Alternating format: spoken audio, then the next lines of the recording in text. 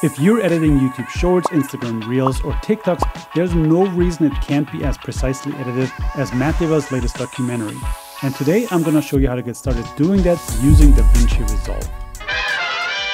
For the sake of this video, let's assume we're shooting on our phones. I got a Pixel 6 Pro here, but really any smartphone will do. And I'm just gonna edit this short from our recent studio opening. It's gonna be really simple, just a couple of stills, and I'm gonna download them all onto my drive. And the first couple of steps are going to be in the Finder before we even move into Resolve. I'm going to create a new folder and call it Studio Opening. Because a key to faster editing is good organization and knowing where to find everything. So I'm to copy my template structure over here and pull in all the photos. But there could also be videos in here, graphics, whatever else you need in your media. Now I'm to head over to DaVinci Resolve. And for this one, I'm to create a new project just for the sake of demonstration purposes.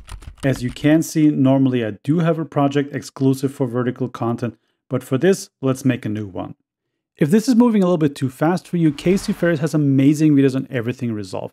I'm to link some of his videos in the description below. Okay, now so let's look at the project settings, because when you make a new project, it will take your default settings.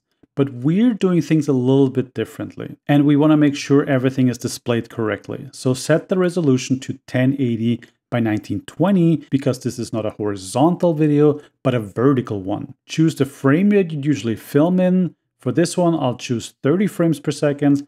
You'll see why in a minute.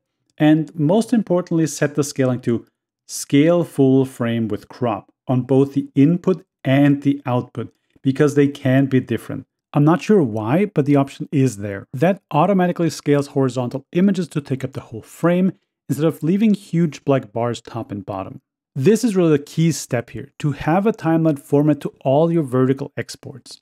And this is something you can also do in an existing project. Simply create a new timeline, uncheck the Use Project settings, and type in the resolution and scaling as mentioned above. Okay, things are taking shape, so let's go to the next step and bring in all our files.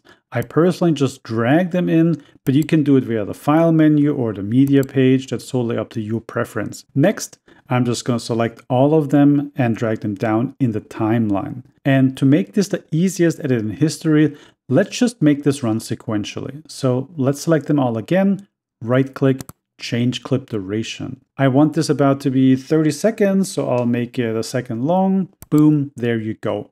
All in order and trimmed down. One thing to be aware is that you can put in your own numbers, but as you see, you have to write it in time code. So if you want it to be 10 seconds, you have to write 10, 0, 0. That is 10 seconds. So if you just have a montage, this is a really quick way to get things in order. And that is a great way to get started. Now to make this a little bit more interesting, let's add some music. And for that, I'll go over to my favorite new free music site, Uppbeat. They offer high quality music completely for free and you'll never get a copyright strike against them. They do also have some premium songs and sound effects so you can upgrade if you want, but the free version gives you 10 downloads a month and that's what I've been using on my last few videos.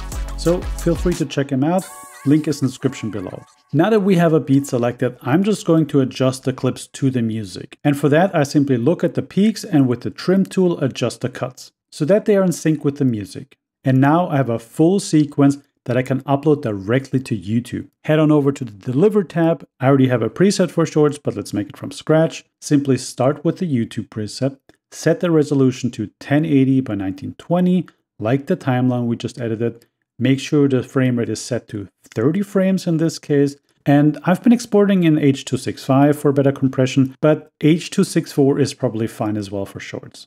And lastly, you can connect Resolve directly to your YouTube channel via the preferences. Select internet accounts, YouTube, and that will guide you through its own process select the checkbox Upload directly to YouTube. You can already give this a title and description and choose the visibility and category. Add to render queue, render, and you're all set. Your first short is on YouTube.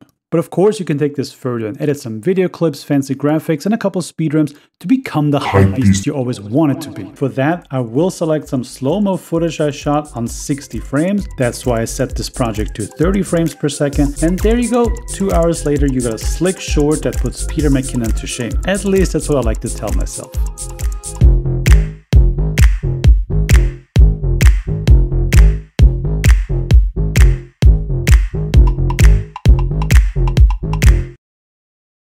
Now, I hope this overview was helpful and brought you a little bit further along on your creator journey.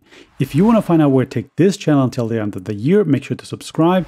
And if you know someone who just downloaded Resolve, make sure to share this video with them. With that, my name is Valentin, and I'll see you in the future.